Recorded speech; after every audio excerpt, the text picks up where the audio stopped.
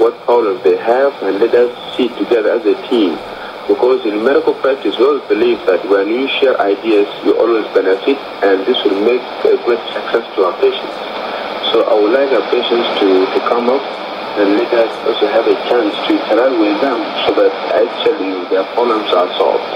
So uh, this is the message I would like to pass to our people. And Dr. Abraham, uh, I wonder how good is your Arabic? If you could share with our, with our listeners as well the service. Well, uh, my, my Arabic is somehow uh, minor, but definitely I'll have to let uh, people know. أنا طبعا بناشد المشهود وزارة الغومي ومع وزارة المصرية قاعدين يعملوا في الفترة الفاتت والفترة الجاية وخاصة البرنامج القاعد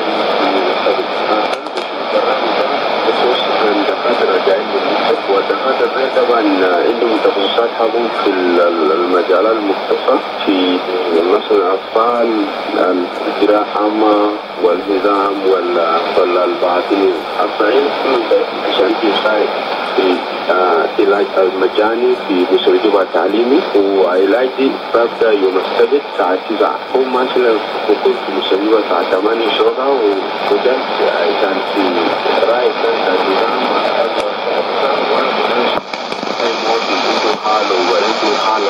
ya Bishoko yatereye yinasi mu mudugudu wa